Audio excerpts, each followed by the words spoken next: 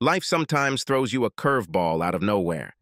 It seems innocent at first until it hits you right in the face.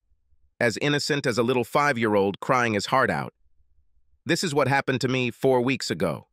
David, my husband, our two children and I were at a barbecue on a bright, sunny Saturday in August. I was alone in the kitchen, preparing pasta salad. Margaret, the landlady, was outside with the other wives and husbands. Samuel, our little boy of five years old, came running, rushed to me, and began to cry. He tried to say something, but he couldn't hold back his sobs, and I didn't understand a word. Okay, slow down, honey. Take a deep breath and tell me why you're crying. Gathering all his courage, sniffing, breathing heavily, he followed my advice. I don't want Dad to get rid of the mustache, Mom. I don't want a new cat. I love the mustache, he said. Why do you say that, Sam? We don't want to replace Whiskers with a new cat. Why do you think so? Because Dad told it to Uncle John, he finally said. I hugged him. You probably didn't understand well what Dad was saying. We won't get rid of the mustache. Now, Sam, forget about it and go back outside to play with the other children, I reassured Sam. Sam looked at me. Are you sure, Mom? Will we keep the mustache? Yes, I'm sure. Clearly relieved, he ran outside. Well, that was strange. Whiskers is my old 15-year-old cat. I had it before I even met David. My name is Sheila Roberts, formerly O'Brien. I met David 10 years ago. He was 25 years old and I was 23.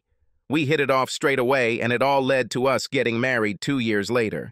A year later, I became pregnant, and we had our first child, Annika, who is now seven years old. Two years later, I gave birth to Samuel. I know the mustache is nearing its end. He's a little blind now and has a hard time holding his litter, but he's still very lively and eating well. David and I discussed this topic several times and even began to prepare the children for the fact that he did not have many years to live but we were far from making a decision. I will, of course, talk to him about this. It wasn't until we left the barbecue and headed home that I remembered what Samuel had said. Dear, why did you say that you want to get rid of the cat and get a new one? It really traumatized Samuel, I said. For a split second, a strange expression appeared on David's face surprise, shock. I wasn't sure. He looked at Samuel in the back seat. I didn't say anything like that. Let's talk about this later, when the kids go to bed, he finally answered. Well, when we got home, I had to wake up Samuel, who was very tired and in a bad mood. Bath time was a real struggle, as it often is between kids and me. David and I were exhausted too, and soon we went to bed, and I forgot about Mustache. And then a week ago, it was our turn to host our friends for a barbecue. I was in the kitchen when I really needed to go to the bathroom. The window was open, letting in fresh air as well as all the noise from the backyard. I could clearly hear John talking to David, even if I couldn't see them from the bathroom. Oh, you sneaky bastard, said John. I didn't think you had the guts to bring a new pussy into the house while your wife was away. Shut up, John. You're going to get me into trouble. If Sheila ever finds out, I'm dead, David replied. So everything is ready for the long Labor Day weekend when she takes the kids to see mom and dad. John, I said, shut the fuck up. Okay, cunning dog. I was in a daze. I tried to sit on the toilet, but the seat was raised and I sat properly on the toilet. I straightened up, lowered the seat, and sat there for several minutes. My world was crumbling around me. I clearly remembered what Samuel had overheard a few weeks ago, and suddenly I understood the true meaning. The old pussy was me, and he will come with a new one. I couldn't understand. I refused to understand. Our life was almost perfect. We both had jobs we loved, two wonderful children, a nice home, and wonderful friends. At 34, I was very pretty, and our sex life was more than satisfactory. So why did he decide to leave me for a younger woman? Why risk losing everything to try a new girl? Try as I might, I could not find anything in David's behavior that would shed any light on his dissatisfaction with me. He does everything he can to express his love for me, his joy that I am his wife, mother, and friend, and I always respond with the same love. Could I have misinterpreted what I heard? No, John is a little rough around the edges with his vocabulary. When he says pussy, he means everything below the girl's waist. My marriage is over. I started crying. There is no way I can continue living with this bastard. But how could I continue? What should I do? Should I go and confront him in front of everyone? This will not work. From what they said, it will be done over the long weekend. I needed proof of his deception. It doesn't get any easier than this. A colleague's husband works for a security agency and could install cameras in the house to catch him. Yes, that's exactly what I'll do. And then, having evidence of his deception, I will throw him out into the street and squeeze as much out of him as the court will allow. The hardest part will be living with him for the next week without letting him suspect that something is wrong. I wiped my eyes, reapplied my ruined makeup, and went outside to chat with the guests. The next week was terrible. I couldn't be very loving towards David. Every time the two-faced son of a bitch tried to be nice and loving and caring, I had to fight myself not to just wipe the fucking smile off his face. Finally, Friday came, and I went with the children to my parents. When my mother saw me, she realized that something was wrong. She insisted that I tell her what happened, guessing that it was something between me and David. An hour later, when the kids were in the basement with my dad playing Xbox on the old TV, I spilled everything to my mom and my little sister Natalie. They were as surprised as I was to learn of David's insidious behavior. No words could ease the pain I felt.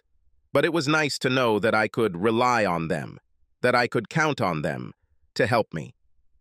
On Saturday night, Natalie invited me to come over for a drink. It was a pub with live entertainment.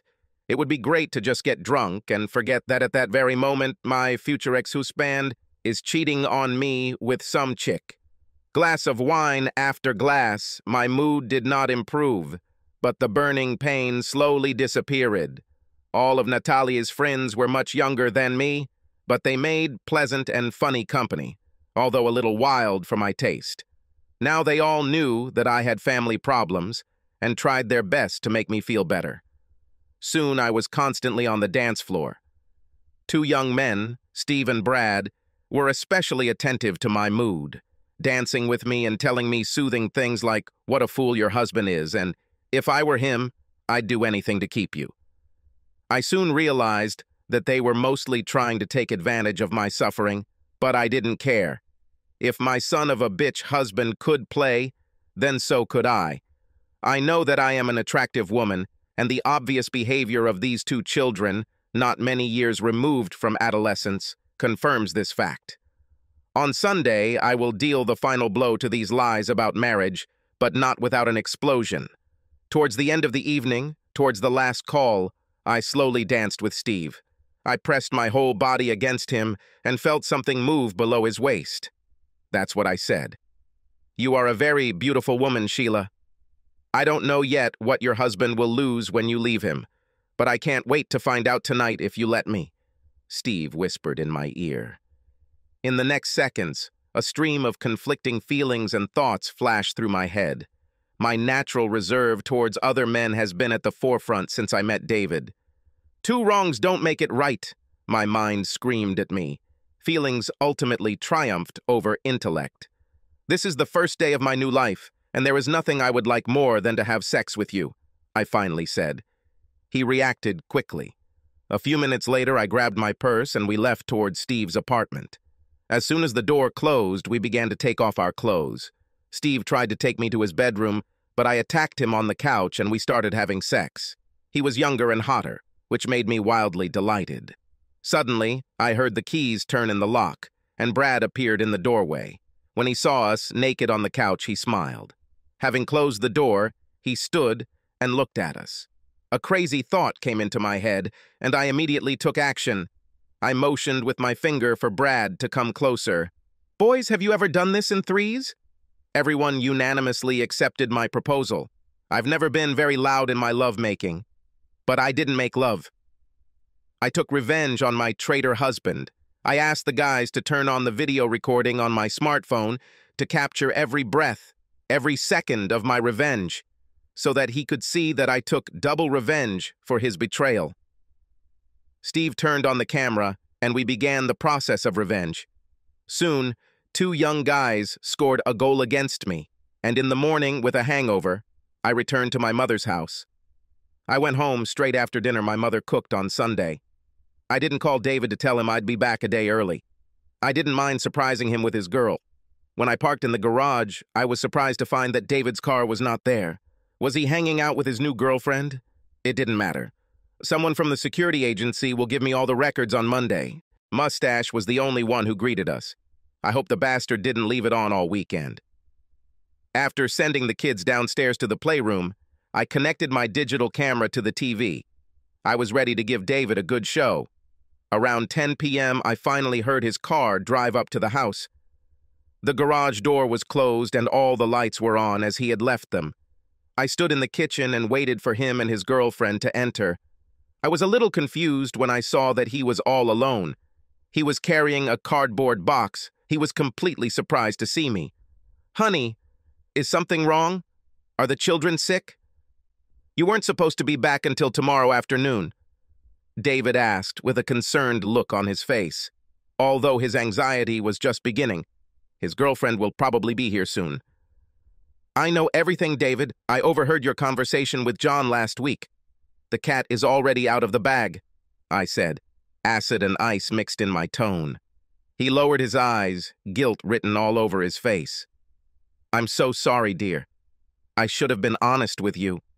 I don't know why I kept this a secret. I knew that after so many years together, you would feel bad about this, he said in a whisper. But I did all this for the children, so that the shock would not be so great. Now he has me stumped. How will sex with another woman help our children cope with our divorce? It didn't make any sense. Before I could answer, the children ran upstairs and rushed at their father so that he almost dropped the box. Suddenly, a faint meow came from the box, surprising the children and me. David carefully placed the box on the floor and opened the doors. Two small heads appeared, looking at the children. This is for you, children, said David. Two little cats, one for each of you. I suddenly felt sick. My stomach wanted to empty itself right here in the kitchen. David looked at me. Sorry, Sheila. The last time I went to the vet, he said Usa didn't have long to live. Then I decided to get these two kittens to help the children cope with this. He took a couple of bottles of beer out of the refrigerator and turned to me. Let's go to the living room while the children get acquainted with the kittens. Curious what's on TV? Oh, crap, I said. Subscribe to our channel so that your second chaff doesn't cheat on you and go ahead and listen to the next story, because this story is nothing compared to the next one. If you're under 18, don't even think about listening to the next one.